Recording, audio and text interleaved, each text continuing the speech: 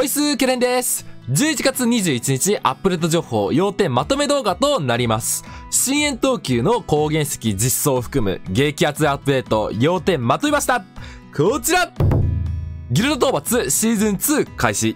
深淵等級高原石実装。プラス値のアクセ。黒いオーラの吸収が可能に。パールショップ新商品多数追加。激アツイベント6種開始となっております。それでは詳細の方見ていきましょうまずはギルド討伐がシーズン2になったということで見ていきましょう。まあ、パッとね、見る感じだと何が変わってるかどうかっていうのがちょっとわからないんですが、こちら、下級からエリートの報酬っていうのが変わっております。まあ、えっと、いらんもんが削除されて、えー欲しいものが追加されたっていうイメージでいいと思います。っていう感じでね、調整されたということで、ギルド討伐。まあ、召喚石余ってるギルドの人は、使っちゃってもいいかもしれないというアップデートになっております。次は高原石深淵等級が実装されましたということなんですけど、こちらの方にね、画像がちょっとあるんですけど、右側見てください。深淵等級のやつ、防御力プラス13、防御力プラス13ついてですね。めちゃめちゃ上がりますよね。やばい。で、なんと、今は、伝説等級以上の高原石の獲得確率が100%増加。つまりね、2倍になってる。やつが来ているので、かなり回し時です。なんで、溜め込んだ高原石、使っちゃいましょうっていう感じになると思うんですが、僕もちょっとね、これは回していきたいと思うんですけども、えっと、高原石ですね。伝説等級以上の高原石は合成せずに、ハドム、ハドムっていうコンテンツでおそらく使うことになるので、サブキャラとかに貯めておきましょうっていうのは、ちょっとまたね、あの、再び言っておきます。唯一等級を貯めておくかどうかっていうのはプレイヤー次第だと思うんですが、伝説は確実に貯めておくようにしましょう。次は変更追加コンテンツ。まあいろいろ来てるんですけども、今回ピックアップするのは、潜在力突破を行ったアクセサリーを黒いオーラ吸収を通じて闇の精霊に吸収される機能が追加いたしましたと。そう。なんか黒いオーラ吸収できないかったあのプラスチアクセ、イイライラしてたプラスチアクセ、あれが吸収できるということで、ありがとう、運営さん。こういうのはありがたいですよね、本当に。こういうね、変更追加コンテンツは最高です。他は、まあ特にないんですけど、あ、まあ一応言っとくと、エイリーンのね、え、この前の AD の支援品から出てた、えっと、箱型アイテムっていうのを両津倉庫に保管できるように修正がされました。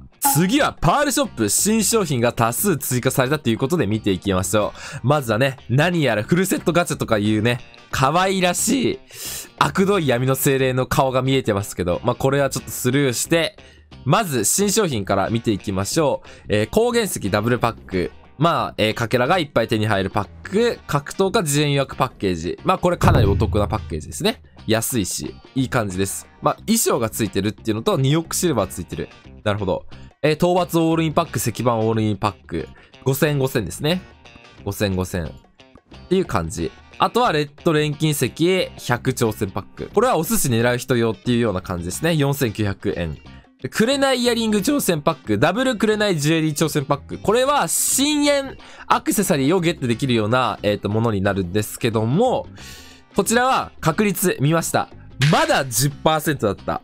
ということです。まあね、新アクセを課金でゲットしようって考えてる美課金の方は、まだ10%なんだなっていうことは押さえておいていいかもです。そしてガチャ。フルセットガチャということで、フルセットって何なんだいって思うかもしれないですけど、こちら。フルセットなんです。すごいですよね。いろいろ、ついにこの時が来たかと。ただ、確率は相当低かったです。深淵ボス防具4セットが0.03%ってね、めちゃめちゃ低いものになる。でも、ボス防具とか、ボス武器、えっ、と、神話の方です。0.1%ってことで、割と確率が高い。かなり高いっすね。っていう感じになってるんですよ。まあ、とうとうボス防具も結構ね、あの、ユニクロ化、ボス防具のユニクロ化なんて言われてますけど、そんな感じで手に入れやすくなったっていうことです。最後にイベントが6種類開始されたということで見ていきましょう。まずは格闘家の事前予約イベント。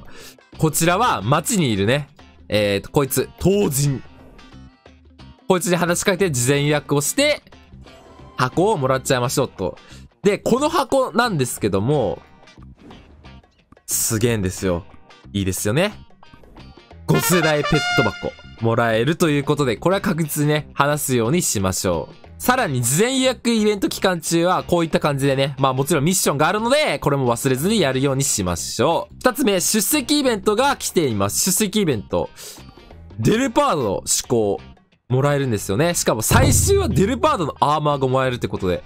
このアーマー強いのかな？防御力133。えー、HP200。なるほど。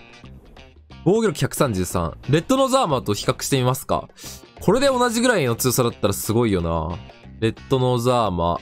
えー、っと、これからの、これですね。133。あ同じだえ、強っマジか。マジかいな。デルパードさん強いですね。強いですね。ええー、僕ちょうどレッドノーズアーマー持ってなかったんで、よかった。あ、これは嬉しいな三つ目のイベント、ボルクスの特別訓練ということで、高原石のね、いっぱいもらえるということで、これは受けるようにしちゃいましょう。四つ目、継承覚醒クラス移行支援イベントってことで、イベント終了時点において各サーバーで保有している継承または覚醒キャラクター1体あたりにつき、えー、伝説神話ランダム惑星4が支給されるということです。まあ、継承覚醒わざわざめちゃめちゃしなきゃいけないっていうわけじゃないということみたいです。さらに、ホットタイムイベントも来ております。えー、木曜日、今日から26日の火曜日まで。